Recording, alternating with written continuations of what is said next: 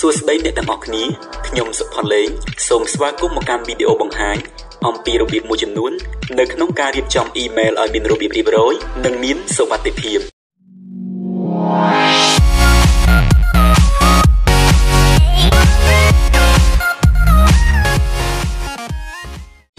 សិនបើអ្នកទាំងអស់គ្នាមិនទាន់បានមើលអំពីរបៀបនៃការបង្កើតអ៊ីមែលតាមជំហាននីមួយៗនិងស្វែងយល់អំពីអ្វីដែលហៅថា browser ទៅនោះអ្នកអាចមើលវីដេអូដំបូងរបស់ខ្ញុំបានខ្ញុំនឹងដាក់ link វីដេអូដំបូងរបស់ខ្ញុំនៅខាងក្រោម description នៃវីដេអូនេះដើម្បីចូលទៅកំណត់ការងារមួយចំនួននៅក្នុងអ៊ីមែលរបស់យើងឲ្យមានរបៀបរៀបរយដំបូងអ្នកត្រូវបើក browser ណាមួយនៃកុំព្យូទ័ររបស់អ្នកជាមុនសិនវា gmail.com នៅត្រង់អាសយដ្ឋាននេះ ចុច enter វានឹងដើរចូលទៅក្នុងប្រអប់មួយដើម្បីឲ្យលោកអ្នកវាបំពេញអ៊ីមែលខ្ញុំសូមវាអ៊ីមែលរបស់ខ្ញុំបញ្ចូល @gmail.com មិនចាំបាច់វាបន្ថែមទេ ពីព្រោះយើងកំពុងតែស្ថិតនៅក្នុងអាសយដ្ឋាន Gmail រួចទៅហើយចុច next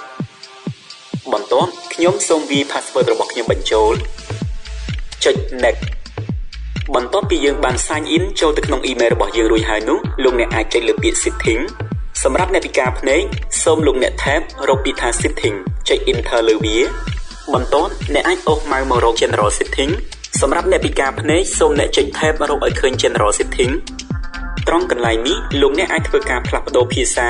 ដើម្បីឲ្យបង្ហាញនៅលើ email របស់អ្នក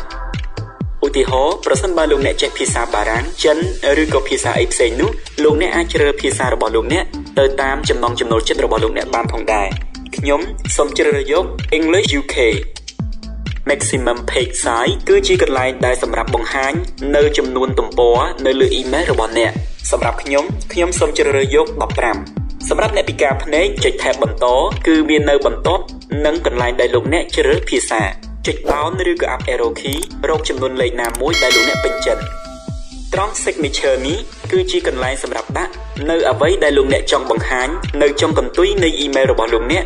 នៅពេលដែលលោកអ្នកផ្ញើ email ទៅកាន់គេដើម្បីឲ្យគេបានឃើញឧទាហរណ៍គឺខ្ញុំដាក់ឈ្មោះរបស់ខ្ញុំនៅខាងលើចុះបន្ទាត់ដាក់មុខវិជ្ជាដែលខ្ញុំកំពុងតែរៀននៅសាកលវិទ្យាល័យហើយនៅខាងក្រោមនេះឈ្មោះសាកលនៅខាងក្រោមឈ្មោះសាកលមួយបន្តទៀតគឺខ្ញុំដាក់លេខទូរស័ព្ទរបស់ខ្ញុំ សម្រាប់អ្នកទាំងអស់គ្នាអ្នកទាំងអស់គ្នាក៏អាចដាក់ដូចខ្ញុំបានអាចបន្ថែមដូចជា link Facebook Instagram ឬអ្វីផ្សេងផ្សេងទៀតដែលលោកអ្នកចង់បង្ហាញឲ្យភាគីម្ខាងទៀតដែលទទួលអ៊ីមែលរបស់លោកអ្នកបានឃើញនៅខាងចុងនៃអ៊ីមែលរបស់លោកអ្នក Vacation response on or off ប្រសិនបើលោកអ្នក click on មានន័យថាលោកអ្នកកំណត់ឲ្យអ៊ីមែលមួយនេះធ្វើការឆ្លើយតបដោយស្វ័យប្រវត្តិ ហើយ tab នៅខាងមុខនេះលោកអ្នកអាចដាក់ subject subject គឺជាផ្នែកខាងលើនៃក្នុងសម្បត្តិឧទាហរណ៍ជូនចំពោះនរណាម្នាក់ message គឺជាកន្លែងសរសេរនៅអត្ថន័យសារសម្រាប់ឲ្យវាធ្វើការឆ្លើយតបដោយស្វ័យប្រវត្តិបន្ទាប់ពីលោកអ្នកទទួលបាន email ពីភាគីដែលផ្ញើជូនលោកអ្នកហើយលោកអ្នកមិនបានឆ្លើយតបដោយខ្លួនឯងភ្លាមៗនោះតែសម្រាប់ខ្ញុំខ្ញុំសូមមិនដាក់ទេកន្លែងនេះ អញ្ចឹងលោកអ្នកអាចគ្រីសយកកន្លែង vacation response off បន្ទាប់ពីលោកអ្នករៀបចំរួចស្រេចបាច់ហើយសូមចុចលើពាក្យ save changes សម្រាប់អ្នកពិការភ្នែកលោកអ្នកគ្រាន់តែចុច tab ទៅរកពាក្យ save changes ឬ enter លើវាជាការស្រេចខ្ញុំសូម back ត្រឡប់ក្រោយវិញសម្រាប់អ្នកពិការភ្នែកអ្នកគ្រាន់តែចុច alt ខាងឆ្វេងបូក key left arrow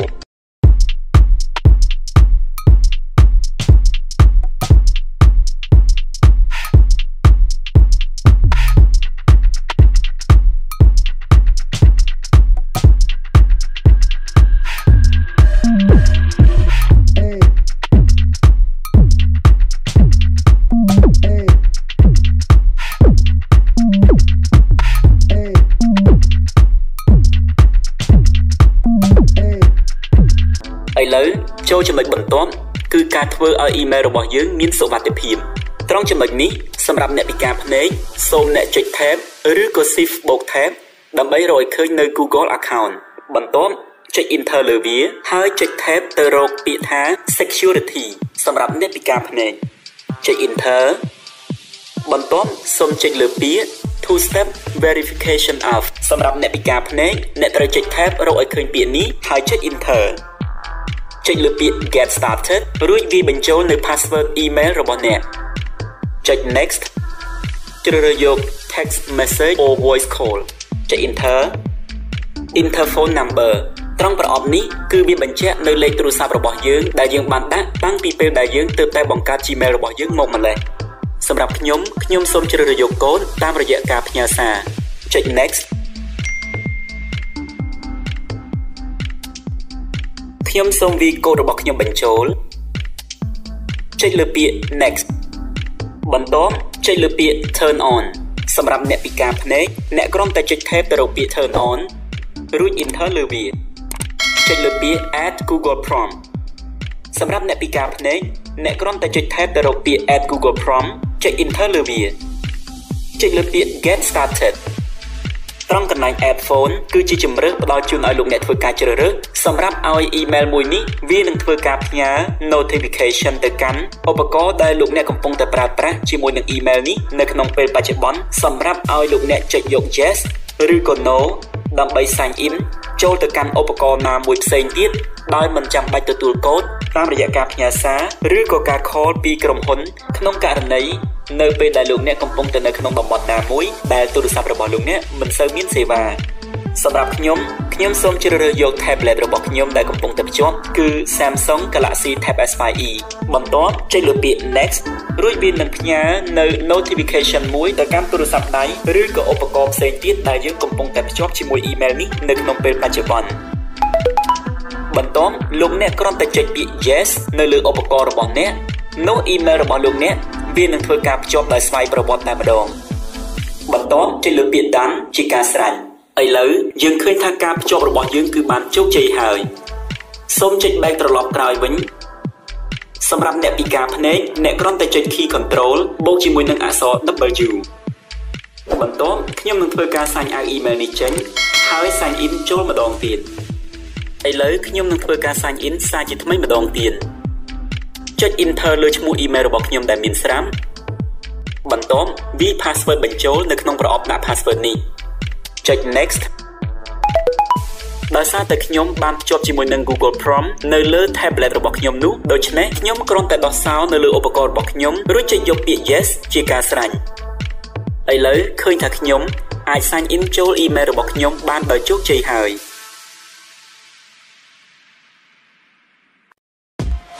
គុណអ្នកទាំងអស់គ្នាសម្រាប់ការទស្សនានៅវីដេអូបង្ហាញមួយនេះប្រសិនបើនៅមានចម្ងល់អាច comment នៅក្នុងប្រអប់ comment របស់ខ្ញុំបានបើពេញចិត្តកុំភ្លេចចុច like ចែករំលែកបន្ត Subscribe និងជួយដាក់កណ្ដឹងមួយផងខ្ញុំនឹងនិយាយទៅកាន់អ្នកទាំងអស់គ្នានៅក្នុងវីដេអូក្រោយៗទៀត